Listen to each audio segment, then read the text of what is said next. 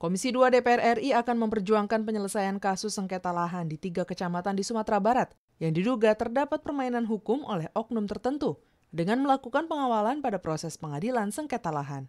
Ditemui dalam kunjungan kerja Komisi 2 DPR RI ke Sumatera Barat, Wakil Ketua Komisi 2 DPR RI Mardani Alisera mengatakan, pertemuan Komisi 2 DPR RI dengan Pemkot Padang, BPN Sumbar, Ombudsman Sumbar, dan perwakilan masyarakat Forum Nagari Tigo Sandiang untuk menyelesaikan permasalahan sengketa lahan di Kecamatan Kokotanga, Kuranji, dan Nanggalo seluas 765 hektar. Komisi 2 DPR RI akan segera mengirimkan surat resmi kepada seluruh pihak yang bersengketa dan membawa kasus tersebut ke ranah hukum. Kasus besar kami akan bawa ini ke pusat karena eh, teman-teman BPN menjalankan tugas keputusan pengadilan, tapi keputusan pengadilan memang dalam beberapa kita tetap harus menghargai ke pengadilan, tetapi ternyata eh, aneh tapi nyata eh, keputusan 1931 bisa dihidupkan kembali di 1982 kemudian menjadi eh, bahan untuk eh, eksekusi keputusan sekarang. Anggota Komisi 2 DPR RI Agus Susanto menyesalkan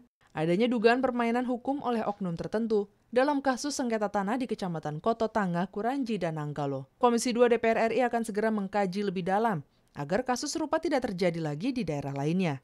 Dimenangkan oleh pengadilan negeri baru tahapannya itu kita sangat miris karena kita lihat dari kronologis yang ada masa pemerintahan Belanda saja sudah menolak. Sesudah itu pemerintahan Republik ini menyatakan dia menang itu sangat naif sekali. Ini nampaknya ada mafia mafia peradilan yang perlu diselesaikan melalui kebijakan nasional. Dari Padang, Sumatera Barat, Muhammad Syamsul Fajri, TVR Parlemen laporkan.